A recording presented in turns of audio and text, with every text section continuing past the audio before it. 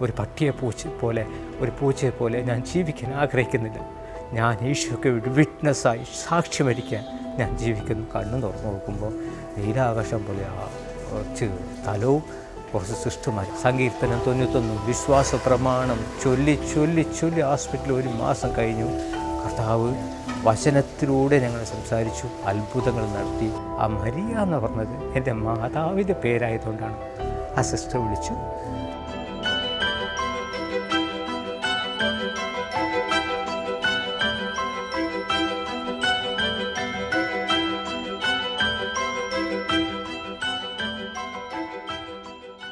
പ്രിയമുള്ളവരെ മൂന്ന് പ്രാവശ്യം എന്നെ ഓപ്പറേഷൻ തിയേറ്ററിൽ കൊണ്ടുപോയി അതേപോലെ തിരിച്ചു വന്നു. കാരണം എന്റെ ഷുഗർ നാനൂറ്റി മുപ്പതും അഞ്ഞൂറ്റി അഞ്ഞൂറായിരുന്നു.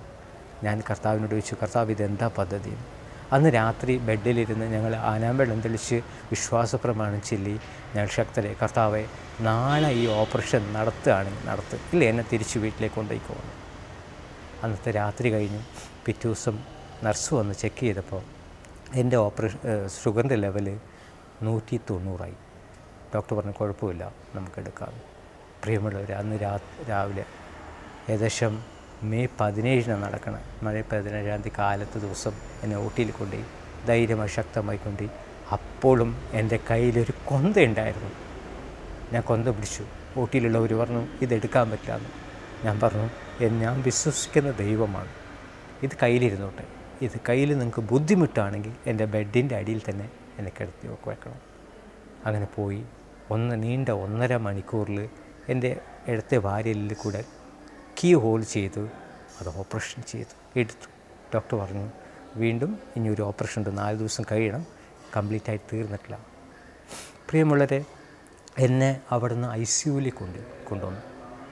അവിടെയാണ് ദൈവം പ്രവർത്തിക്കുന്നത് നിങ്ങൾക്ക് ആർക്കും ഊഹിക്കാൻ പറ്റില്ല. ഐ സിയുവിൽ നിന്ന് ഒരു വ്യക്തി ശുശ്രൂഷ ചെയ്യാൻ പറ്റുമെന്ന് ഊഹിക്കുന്നുണ്ട്.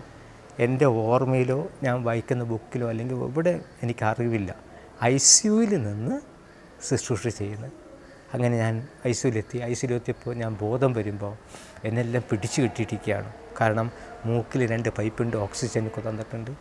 പിന്നെ ഒരു ക്ലിപ്പ് പോലെ അതെന്താ ഓക്സിജൻ ലെവലിൽ നോക്കാനാണ്? അതിട്ടിട്ടുണ്ട് പിന്നെ എന്റെ മൂത്രനാളത്തു നിന്ന് ഒരു പൈപ്പുണ്ട് എന്റെ കീ ഹോളിൽ നിന്ന് ഒരു പൈപ്പുണ്ട്. ഇങ്ങനെ പൈപ്പെല്ലാം കൂടിയിട്ട് എന്നെ കെട്ടിയിട്ട ഒരവസ്ഥയാണ്.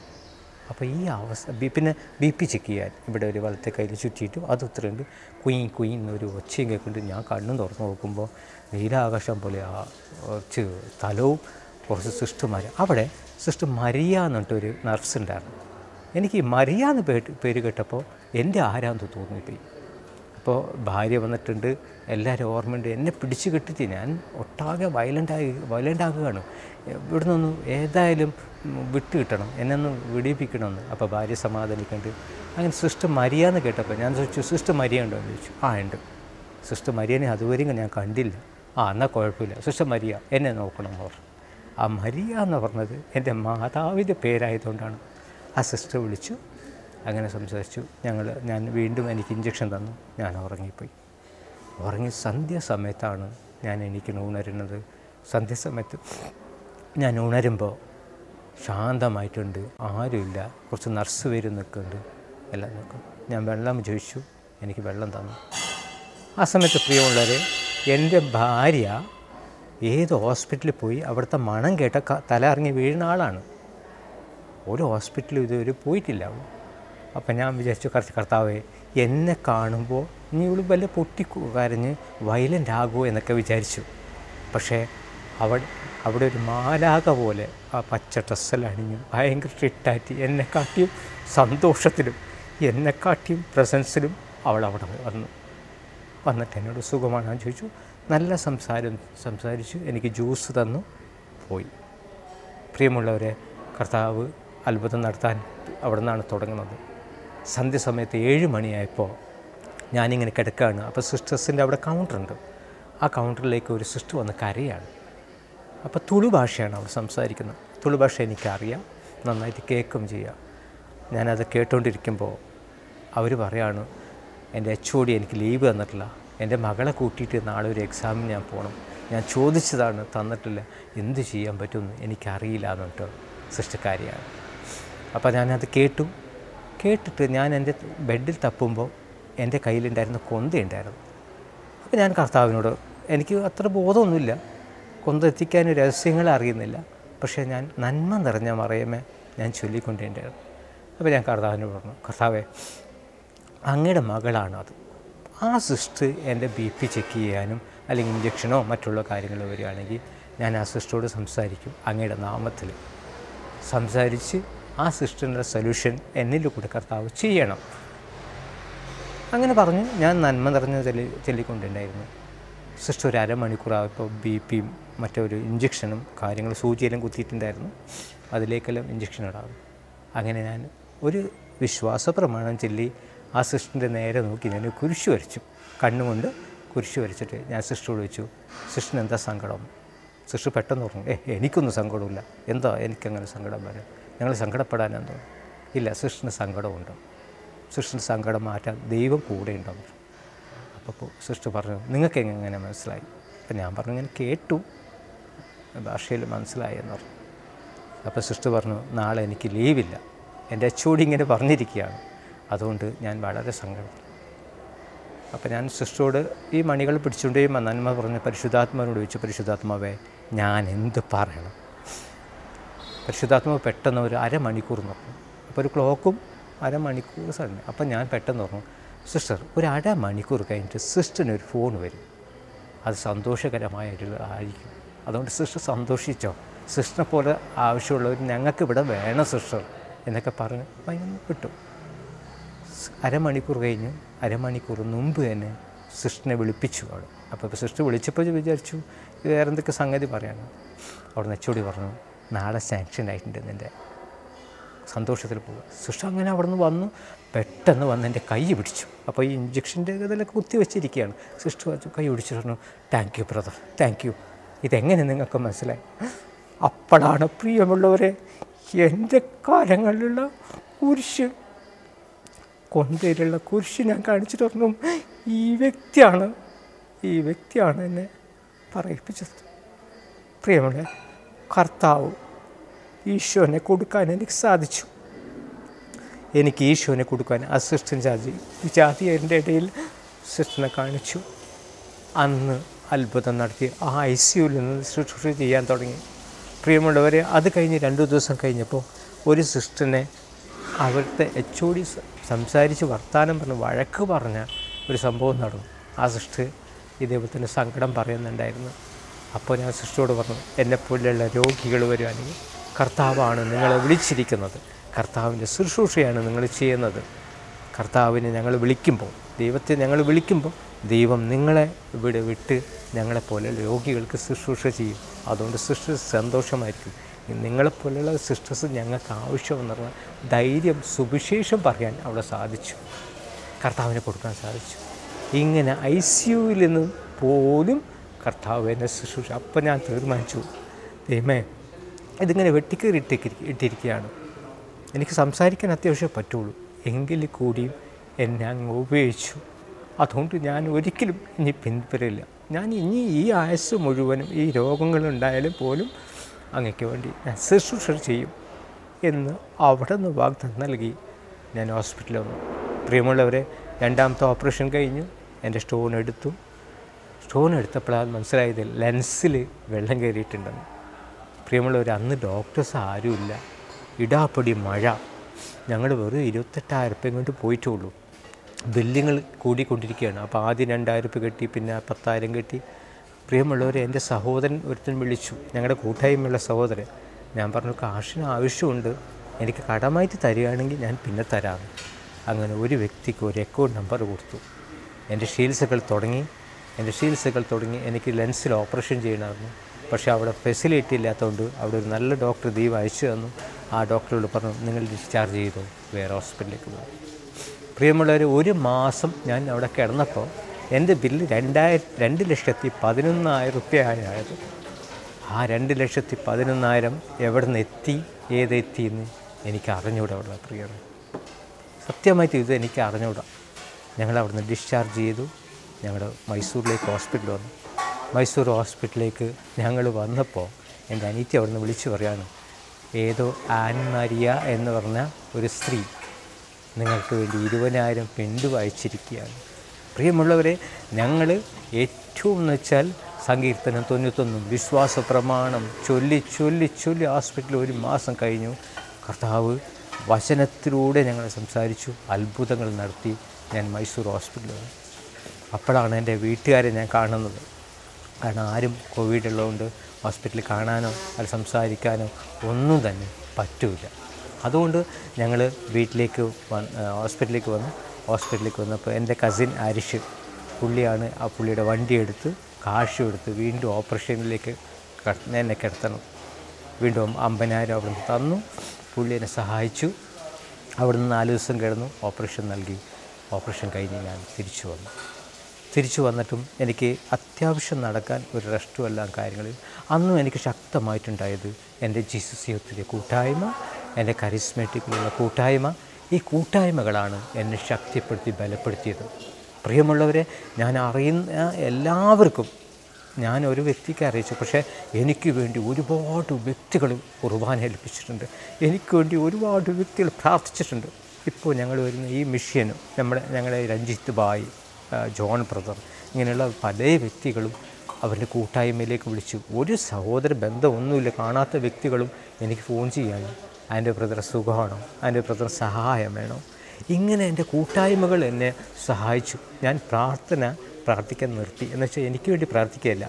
ഞാൻ എന്റെ മഹത്വ ദൈവത്തിന് മഹത്വപ്പെടുത്തുവാൻ ഞാൻ എന്റെ ദൈവത്തിന് വേണ്ടി ജീവിക്കുവാൻ സുവിശേഷത്തിന് വേണ്ടി വായിക്കാൻ ഞാൻ പ്രാർത്ഥിക്കാൻ തുടങ്ങി. അവിടുന്ന് ഞങ്ങൾ പ്രാർത്ഥിച്ച് പ്രാർത്ഥിച്ച് കർത്താവ് ഞങ്ങളെ നിലനിർത്തി കൊണ്ടുവന്നു. ഏകദേശം ഫെബ്രുവരി മാസം രണ്ടായിരത്തി ഇരുപത്തി രണ്ടായിരത്തി ഇരു- ഇരുപത്തൊന്ന് ഫെബ്രുവരി മാസം അപ്പോൾ ആയപ്പോൾ ഞാൻ ബൈക്ക് ഓടി ഓടിക്കാൻ തുടങ്ങി. ഞാൻ കുറച്ച് അത്യാവശ്യ കാര്യങ്ങളിലേക്കെല്ലാം സംസാരിക്കാൻ തുടങ്ങി നടക്കാൻ തുടങ്ങി. അപ്പോഴാണ് നമ്മുടെ രഞ്ജിത്ത് ഭായി വിളിക്കുന്ന പഞ്ചാബിലൊരു ശുശ്രൂഷയുണ്ട്. നമുക്ക് പോകാൻ പറ്റുമോ? കർത്താവ് എവിടെ വിളിക്കുകയാണെങ്കിലും ലോകത്തിന്റെ ഏത് അതർ അതിർത്തികളിലും ഞാൻ എത്തിക്കോളാമെന്ന് പറഞ്ഞു. ടിക്കറ്റ് ബുക്ക് ചെയ്യാൻ പറഞ്ഞു. ടിക്കറ്റ് ബുക്ക് ചെയ്തു. പഞ്ചാബിലേക്ക് പോയി. പ്രിയമുള്ളവരെ എനിക്ക് അത്യാവശ്യം ഹിന്ദി അറിയുന്നതുകൊണ്ട് കർത്താവ് അവിടെയും അനേക ശുശ്രൂഷകൾ ചെയ്തു. പിശാചിന്റെ ഇടയിലും പിശാക്ഷികളെ ബഹിഷ്കരിക്കാനും രോഗികളെ സൗഖ്യപ്പെടുത്താനും അനേക ശുശ്രൂഷകൾ പതിനാല് ദിവസം നടത്തി. തിരിച്ചു പോരാൻ നേരത്ത് കോവിഡ് ഞങ്ങളുടെ പുറകെ വന്നു. ഞങ്ങൾ ലക്നൗ അവിടെയുള്ള ധ്യാന കേന്ദ്രത്തിലുള്ളപ്പോൾ കോവിഡ് ശരിക്കും പിടികൂടി. അവിടെയുള്ള സിസ്റ്റർ ഞങ്ങൾക്ക് ട്രീറ്റ്മെന്റ് തന്നു. പിറ്റേ ദിവസം ട്രെയിനിങ് ട്രെയിൻ കയറി.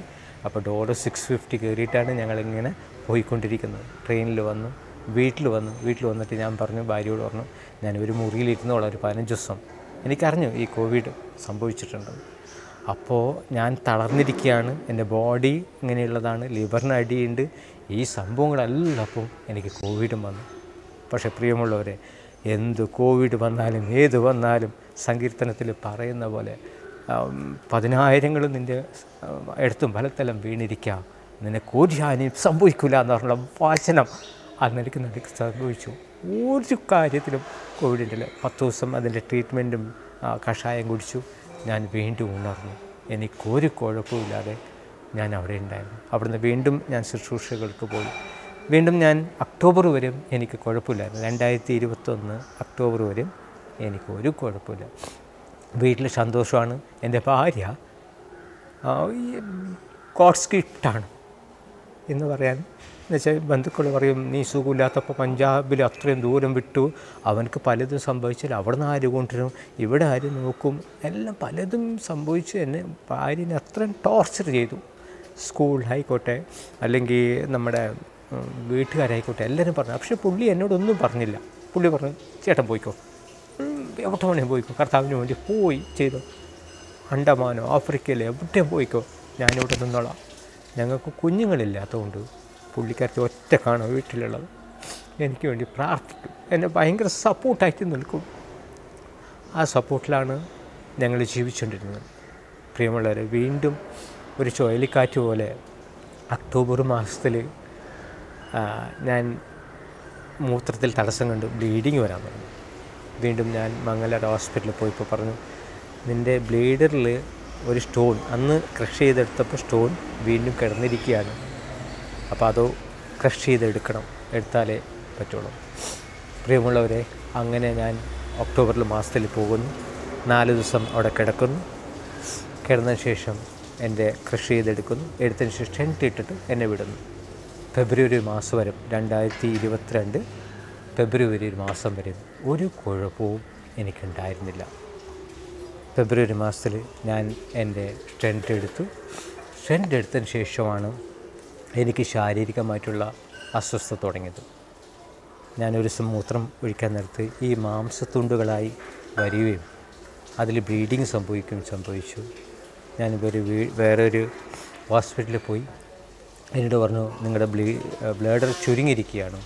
അതുകൊണ്ട് അതിൽ നിന്നുള്ള വേസ്റ്റുകളാണ് വരുന്നുകൊണ്ടിരിക്കുന്നത് ബ്ലേഡർ ഓപ്പറേഷൻ ചെയ്യണം. ഒരു രണ്ട് ലക്ഷം വേണം. ഞാൻ കർത്താവിനോട് ചോദിച്ചു ഇനി എന്താ ചെയ്യേണ്ടേ? എനിക്ക് ബ്ലേഡർ ഓപ്പറേഷനോ കത്തി വെക്കാനോ എനിക്ക് ഇഷ്ടമല്ല കർത്താവ് എന്ത് പറയുന്നു അത് ചെയ്യാം. അങ്ങനെ ഞാൻ ആ പോ ഓപ്പറേഷൻ അവിടുന്ന് പോസ്റ്റ്മാൻ ചെയ്തു ചെയ്തിട്ട് ഞാൻ ജേസസ് മൈസൂർ ഹോസ്പിറ്റലിലേക്ക് വന്നു. അവിടെ ഈശോ അനുഗ്രഹിച്ച ഒരു ഡോക്ടറെ എനിക്ക് കിട്ടി. അവിടുന്ന് ഞാൻ ഡോക്ടറെ കണ്ടു. ഡോക്ടർ ബയോസ്കോപ്പും എല്ലാ ടെസ്റ്റുകളും ചെയ്തു എൻഡോസ്കോപ്പ് ചെയ്തു. അവസാനം മനസ്സിലായി എന്റെ ബ്ലേഡറിൽ ടി ബി ഉണ്ടെന്ന്. അതിന്റെ ട്രീറ്റ്മെന്റ് ആറുമാസം കൂടി കഴിഞ്ഞുകൊണ്ടിരിക്കുന്നു. ഈ ആറുമാസം ട്രീറ്റ്മെന്റ് കഴിഞ്ഞുകൊണ്ടിരിക്കുമ്പോൾ ഇപ്പോൾ ഞാൻ വരുന്ന മുമ്പ് എനിക്ക് റിസൾട്ട് കിട്ടിയതാണ്. ബ്ലേഡർ വികസിച്ചിരിക്കുന്നു. ഏകദേശം അമ്പത് എം എൽ നിർത്തണ മൂത്രം നിൽക്കാൻ പറ്റുന്ന സ്ഥലത്ത് നൂറ്റി ഇരുപത് നൂറ്റമ്പത് ഒഴിക്കുന്നു. കർത്താവ് എന്നെ ഓപ്പറേഷൻ നീക്കി നീക്കി നീക്കി പോയി പോയിട്ടിരിക്കുന്നു. പ്രിയമുള്ളവരെ ഇപ്പം ഞാൻ ഒരു മൂത്രസഞ്ചി ഇട്ടിട്ടാണ് പോകുന്നതും വരുന്നതെല്ലാം. പക്ഷേ എങ്ങനെയുണ്ടായാലും ഡാനിയലിന്റെ പുസ്തകത്തിൽ പറഞ്ഞ പോലെ ആ മൂന്ന് മക്കൾ തീ ചൂളിലുണ്ടായാലും തീ ചൂളിൽ രക്ഷിക്കുന്ന കർത്താവാണ് ഞങ്ങളുടെ എന്തെങ്കിലും ഇനി കർത്താവ് രക്ഷിച്ചിട്ടില്ലെങ്കിലും ഞങ്ങൾ ആ കർത്താവിനെ ആരാധിക്കും. അതുപോലെ ഞാൻ തരുന്നു. ഒരു പട്ടിയെ പൂച്ച പോലെ ഒരു പൂച്ചയെ പോലെ ഞാൻ ജീവിക്കാൻ ആഗ്രഹിക്കുന്നില്ല. ഞാൻ ഈശോയ്ക്ക് വിറ്റ്നസ്സായി സാക്ഷ്യമരിക്കാൻ ഞാൻ ജീവിക്കുന്നു. ഒരു പ്രവാദി കാലഘട്ടത്തിന്റെ പ്രവാദിയായി ഞാൻ പോകുന്നു. ഇനിയും ഈ ഈ ഒരു കാലഘട്ടത്തിൽ ഞാനത് എനിക്ക് ഉറപ്പുണ്ട്. കർത്താവിന്റെ ഒരു ആശ്രയ മരമായി എന്നെ നിർത്തും. കർത്താവിൽ എന്നിലൂടെ കർത്താവ് അനേക കാര്യങ്ങൾ ചെയ്യുമെന്നുള്ള പൂർണമായ വിശ്വാസമുണ്ട്. അതുകൊണ്ട് ഞാൻ ജീവിച്ചാലും കർത്താവിന് വേണ്ടി ജീവിക്കും. മരിച്ചാലും അത് കർത്താവിന് വേണ്ടി മരിക്കും. സഹനങ്ങൾ ഏറ്റെടുക്കും പ്രിയമുള്ളവർ സഹനങ്ങൾ ഏറ്റ- ഏറ്റെടുക്കുമ്പോൾ എന്റെ കർത്താവ് സഹിച്ച അതേ ക്രിസ്ത്യാനി ക്രിസ്തുവിനെ അനു അനുവേശിയായി ക്രിസ്തുവിന്റെ അനുയായി പോകുന്ന ആ സഹനങ്ങൾ ഏറ്റെടുത്ത് ഞാൻ ഇന്ന് പ്രാർത്ഥിക്കുന്നുണ്ട്. ഇന്ന് ഞാൻ ശുശ്രൂഷ ചെയ്യുന്നത് ഫോണിലെ കൂടിയാണ്. ഇന്ന് പ്രാർത്ഥനയിലൂടെ ആ ശുശ്രൂഷ ഇന്നും നിർത്തിയിട്ടില്ല.